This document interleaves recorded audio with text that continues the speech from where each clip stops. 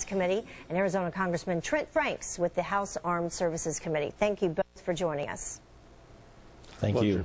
Well, criticism it is coming from both sides of the aisle, as we said, Democrats and Republicans. Republican Dennis, uh, uh, Representative Dennis Kucinich calling the action grave without congressional authority, and Ron Paul going a step further, saying that it is insulting even that this authority to impose a no-fly zone comes from the United Nations and not Congress. So I begin with you, Congressman McDermott. Should Congress have been more involved? I personally think the president handled this very well. The first week, his, he was preoccupied with getting Americans out of Libya so there would be no hostages taken. Then he went to the United Nations and got them to be involved on an international basis. I was totally opposed to any action, no fly zone, anything, without international support.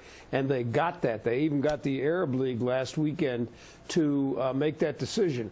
I think that at this point, if the president wants to do anything more, he ought to call the Congress back from recess and we'll have a session and talk about where we need to go.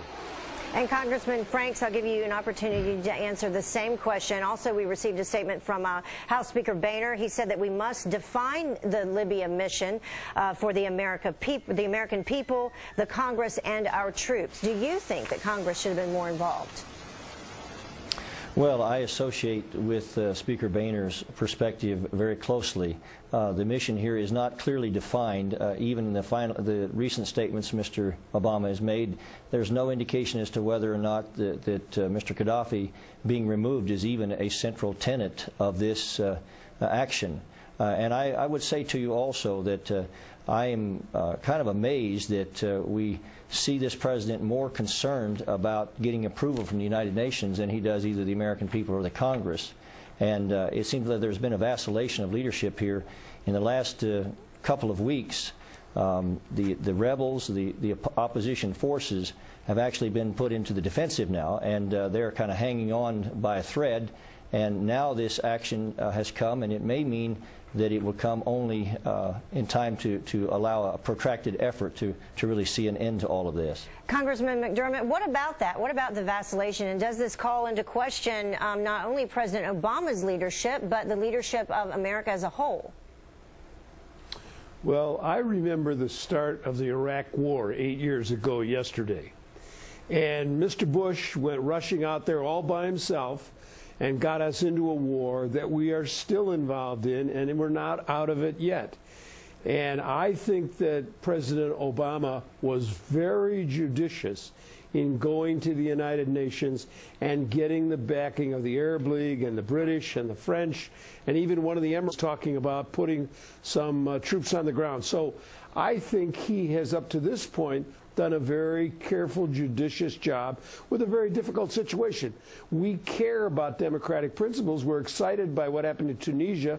We're excited about what happened in Egypt. But uh, this is a different uh, game that we're in in Libya because you have a leader who has proven over and over again that he will do anything. So he requires us to be very careful in how we deal with him.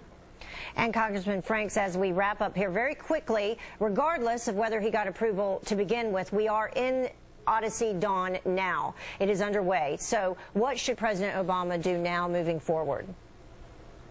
Well, it's important now that we make sure that a regime change is effected because anything less, I'm afraid, will mean that our efforts are of little consequence. And I, I would say to you, Heather, that the reason that we talk about the vacillation of the president is because leaders, including this mad dog of the Middle East, as Mr. Reagan called Gaddafi, uh, are looking at this president's uh, commitment. And I'm concerned that the greater perspective, like in Iran or uh, areas like that, they may look at the, the president's indecisive attitude and it may pro uh, project a much greater danger to all of us in the future. Okay, we have to wrap it up there. Thank you so much for joining us, Congressman McDermott and Congressman Franks. We appreciate it. You're Thank welcome. you. Bye-bye.